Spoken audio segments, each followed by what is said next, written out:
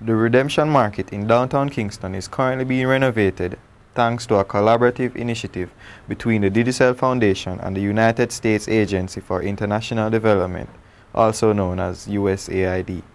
The vendors are very elated about the changes being made as the market was in a deplorable state prior to renovation. So far the condition was very fixed, and we are so glad Digicel and the USAID Foundation for repairing our market. So far the work is going on so well and we are so happy.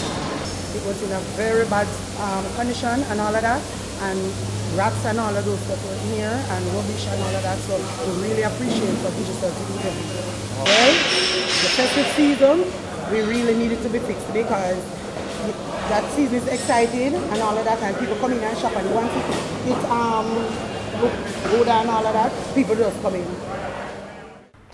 Vendors are currently located outside the market and other sections of the downtown area. We don't want the market to finish, that we can go inside and you know.